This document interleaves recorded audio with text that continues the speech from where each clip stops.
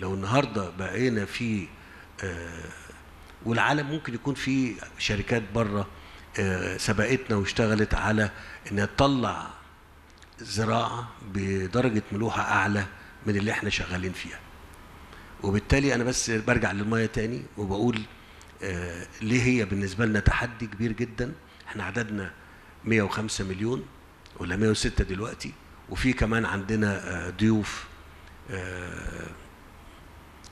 9 مليون ويمكن آه، لما الدكتور مصطفى قال إن إحنا إن العبء المالي علينا من هذا الموضوع يصل ل 10 مليار دولار كتير اتكلم يقول لك الرقم ده معقول يعني. فأنا قلت لهم طب بس تعالوا قولوا لنا لو إحنا بندي متوسط آه، المية طبقا اللي هو أقل معدل عندنا 500 متر في في اليوم في 9 مليون يعني في السنة يبقى 4.5 مليار متر.